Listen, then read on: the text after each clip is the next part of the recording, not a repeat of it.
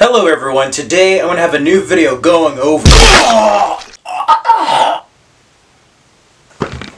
Hello YouTubers, you're on the Frederick Lopez channel. Die Hard is a Christmas movie, and also it's the best action film ever made. This film just set a precedent for not only Batman but superhero films. Okay, so here we have the Stranger Things original soundtrack. So here we have the DVD set.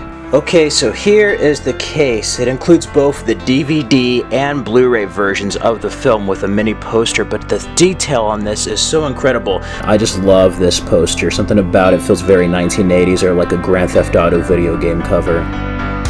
Get to see more of an action Ethan Hunt, uh, shoot first, ask questions later type of Ethan Hunt. Will Smith is fantastic in this.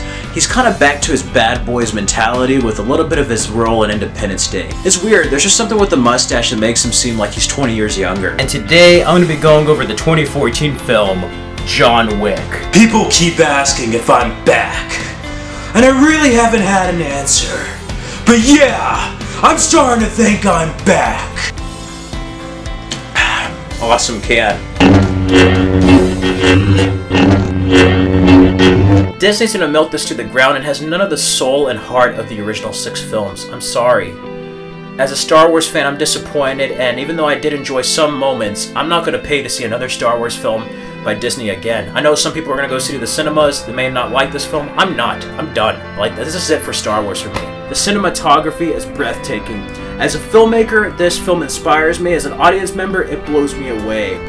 They could be a great people, Kal-El, if they choose to be. It's like Terminator Mad Max had a baby. My favorite movie of the year is still Logan. You're on a new action reaction, and today I'm going to briefly go over Die Hard with a Vengeance from 1995. And for this to be the only and first Batman Beyond feature film, it is a damn good one.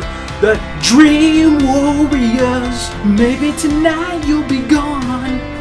I love that song. Fucking Dokken is amazing. And then you have Into the Fire. How's this for a wet dream?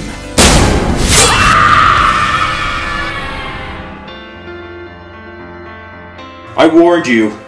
I warned you that if you came after me, if I even felt someone breathing down my neck, how fast I would bring this fight to your doorstep.